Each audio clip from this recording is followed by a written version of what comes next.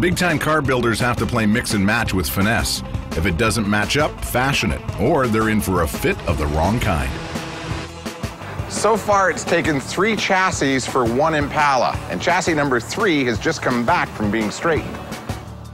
The focus today was to uh, get the suspension mocked up, which we chose an air ride. Um, it's an easy install. It's a, pretty simplistic. We don't have to weld or do anything. The original suspension on the car was coil springs front and back.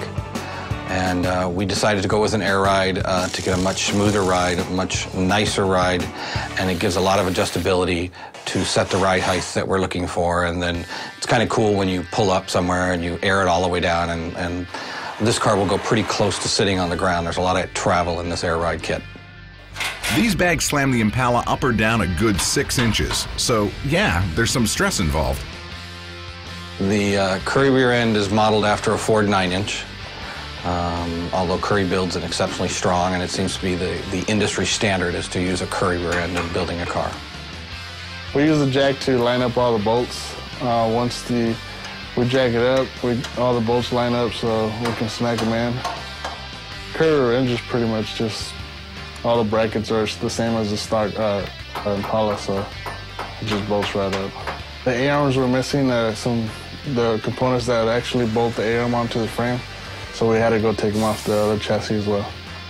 Missing components are no worry when you've got an extra chassis out back. All it takes is a little old school salvage. If you're going to go salvage yard, you may as well go all the way. I'm not sure of the technical name for these suspension parts. Dog bones seemed appropriate. They don't come with the air ride kit, so don't toss your old ones. I think the, the whole design of the car is going to come together really well.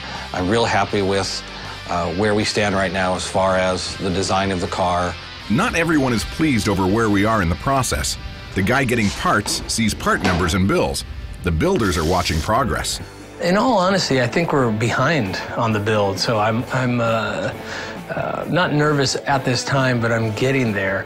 Um, there's been some delays, I think, on the motor. I think the motor's two weeks out. Uh, I don't believe we have brakes yet, and this is all imperative for the mock-up. So um, I'm, uh, I'm getting nervous. We're starting to see some progress. The body's been dipped. The, most of the metal work is done on the car. The frame and chassis is being done. Uh, we're starting to get a lot of parts in. Uh, we got the upholstery coming in probably in the next week or so, and uh, we'll have, we've got the glass, and we're just getting a lot of the missing parts uh, together. Uh, so the car, the car and the project should proceed very, very quickly. It's all about perspective. Having taillight trim on hand won't move the car down the street or stop it at the corner either. The 64 Impala may have a lot of components and some really nice new tools, but one thing we could use right now, a hoist.